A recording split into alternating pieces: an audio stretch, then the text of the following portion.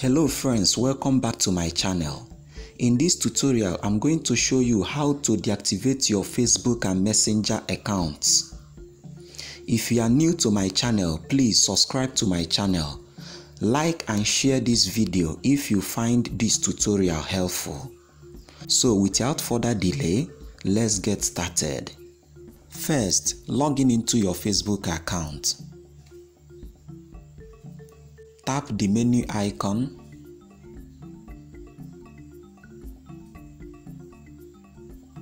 Scroll down.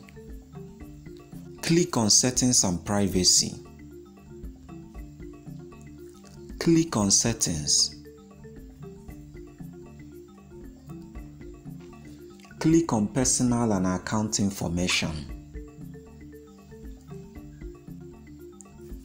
Click on Account Ownership and Control. Click on Deactivation and Deletion. Tap on Deactivate Account and click on Continue to Account Deactivation. For your security, please re-enter your password to continue. Once you are done, click on Continue. Now, Facebook will alert you that deactivating your account will disable your profile and remove your name and photo from most things you have shared on Facebook. They will request you give them reason for deactivating your account. Select any of the reasons mentioned above or if there are other reasons you have, you can type it in the box. Okay, and once you are done, you click on continue. Scroll down.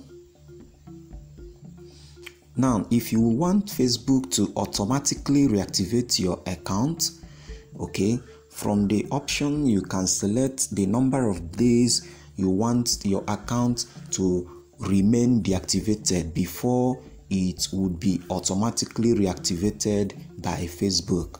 But if you don't want Facebook to automatically reactivate your account, select Don't Reactivate Automatically. And once you are done with the selection, click on Continue. Now, if you would like to deactivate your messenger also. From this option do not check that box that says keep using messenger. But if you would like your messenger to be active just check that box that says keep using messenger.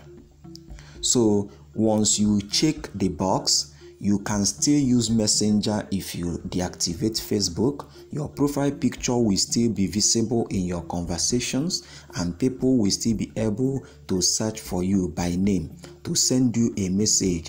You will continue to appear to friends on facebook in places where they can message you.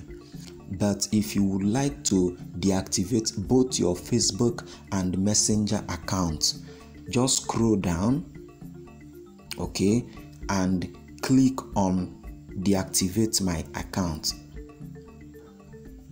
And boom friends as you can see the facebook account has been successfully deactivated.